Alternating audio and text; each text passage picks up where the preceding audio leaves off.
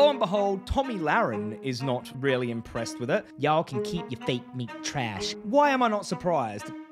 Okay, some huge news out of Spain here. This is causing division, like massive division. Now you've got farmers and the conservative crowd on one side of the fence. Then you've got people who are more progressive, pro the environment, pro animals on one another side who are, for this. JBS, the world's top beef supplier, they actually own Pilgrim's, which is the company that I exposed their gas chambers a few weeks back, is building a lab-grown meat plant. Let's have a little read of this. Top global beef producer JBS is building the world's biggest plant for lab-grown meat in Spain. Now this is the part that made my eyes tear a little bit in a good way. The facility will produce about 1,000 metric tons of cultivated meat per year, with the capacity to expand output to 4,000 tons. I'm going to use the help of ChatGPT to look at how many cows 4,000 tons is. A typical mature steer weighs around 12,000 pounds or approximately half a metric ton. So to calculate the number of cows in 4,000 metric tons of meat, we'd use a uh, following calculation 4,000 tons approximately 7,353 cows. Wow. So one of these plants could save 7,353 cows a year. That's crazy. What about chickens? Oh my God, what, let's do it for chickens. Let's assume a weight of 2.5 kilograms, ChatGPT is saying. One metric ton is 1,000 kilograms. So ChatGPT seems to think that 4,000 metric tons of chicken flesh is equal to 1.6 million chickens if we assume two and a half kilograms of chicken. Don't know if those stats are right. Now, people often ask me, do I support lab grown meat? And the answer should be very clear.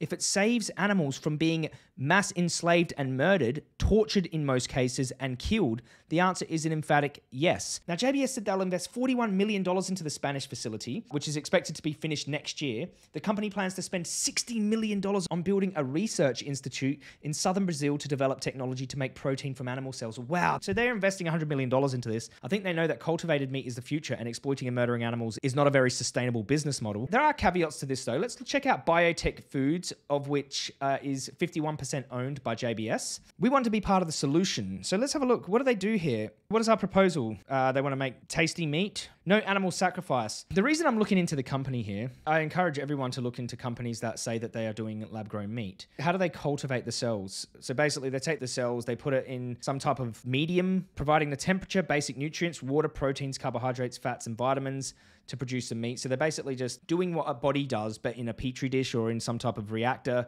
The sample is where I would be a little bit concerned. So where, where do they get the sample from? The starting point for the elaboration of cultured, cultured meat is the extraction of a small sample of meat from an animal without causing them suffering. Now they called the animal it, so that's not a very good start. But if they take a small biopsy of an animal, take pluck a feather from a chicken, a small biopsy from a cow, and they save 7,000 cows a year or 1.6 million chickens a year, that is completely morally justified. If you think that's not, then you have, have got a screw loose. All right. A biopsy, take my biopsy. Go on. Take, I know I can consent, but even if a chicken cannot consent to a biopsy, it's completely justified at that point to save 1.6 million chickens, and these chickens aren't even going to be harmed. I've seen a company called Supermeat do this. They take one cell, one biopsy from a chicken, a fallen feather. They can take a fallen feather and they can cultivate a bunch of flesh from that one fallen feather. Now, I, would still make sure that these companies are not using animal inputs like uh, bovine fetal calf serum or whatever they use. Uh, animal inputs or something like that, or they have like a shed full of animals out the back that they're breeding and and torturing and mass raping or something like this, some horrible situation for farming the animals. But I don't think that that's the case, and I don't think they have to do that. Once they've started cultivating these cells, they've got an infinite amount of cells at that point. So, do I support it? Now, of course, I support it with these caveats. They're not harming, exploiting, violating the rights of some animals to save other animals. But here it just seems completely benign, small biopsy or whatever. Is everyone going to be for this? Let's have a look on Twitter. Lo and behold, Tomi Lahren is not really impressed with it. And who is she? She's a Fox News commentator.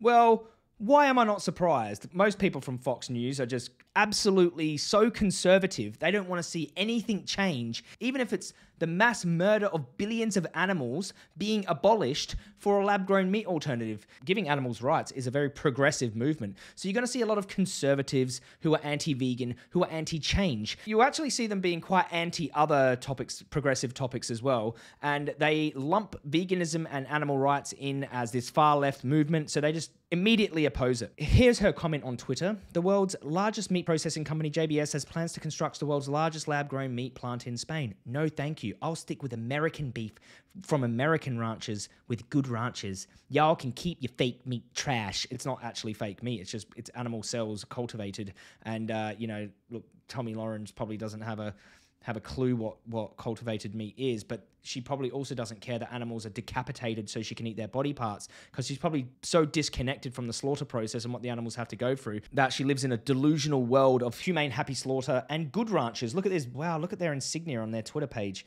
85% of grass-fed beef is imported from overseas. 100% of our products come from local american farms. We are american meat delivered. Good old american conservative chopped up body parts. Sounds horrifying. Do they have any images from the slaughterhouse in here? Oh no mRNA vaccines or antibiotics.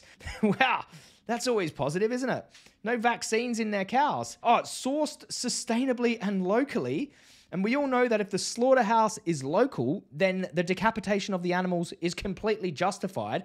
And look, they even got bacon. They even got bacon. Do they gas those pigs or do they just stab them in the neck? Wow. I'd rather not have meat cultivated in a dish. I'd rather the cells grow off of a sentient being just so I can stab them in the neck and cut their head off to get that flesh. You see how evil, I'm going to use the word evil, it is to oppose a system that makes the slaughter of animals obsolete. Now, we're talking exactly the same meat, flesh, that people are used to, that taste they like. I, I personally won't be eating it. I don't know about you. Leave your comments down below. Will you be eating lab grown meat? I definitely definitely will not. But I will support anyone, including vegans, if they want to eat lab grown meat because it's ethically vegan at that point. It is ethically vegan, and I will be up, up there promoting it, lab grown meat, to people because uh, if it tastes more like meat than plant based meat does and it helps save animals, then I'll be promoting it. You can count on me to promote it. Even if JBS are producing it, I would still promote their lab grown meat just so that they see it as a good business move to shift over to just completely lab grown meat. That would be massive for animals. Now, you can see like the other people that are pissed off about this one is we're going to the UK now. What do we got in the UK? I like my meat to have been grazing in a field, not grown in a lab. I like my flesh to come off of sentient beings, stabbed in the neck, not grown in a lab. They automatically assume because it's grown in a lab or cultivated in a dish that it's what less clean or what? It's it's like going to mess you up? What do you think flesh is? What do you think happens to animals in the uk in america? They grow in factory farms most of the time. They all go to a slaughterhouse to die in their own blood. I just don't get it. Like what is your problem? You'd rather murder animals than eat lab grown meat. It's, it's just illogical, it's cruel, and it's, it's psychotic. Farmers will have a fight on their hands to stop this, or it will be lab meat in the future. Oh my god, could you imagine, man? Could you imagine getting rid of slaughterhouses? Hey mate, why don't you take a little waltz down a slaughterhouse kill floor and see if your position stays the same? If you had to walk down a kill floor like a cow did, you'd be happy with the decision for lab grown meat in the future.